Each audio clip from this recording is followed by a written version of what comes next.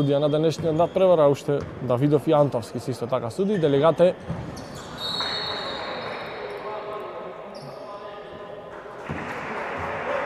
Теофиловски првиот напад им припаѓа на гостинските кошаркари.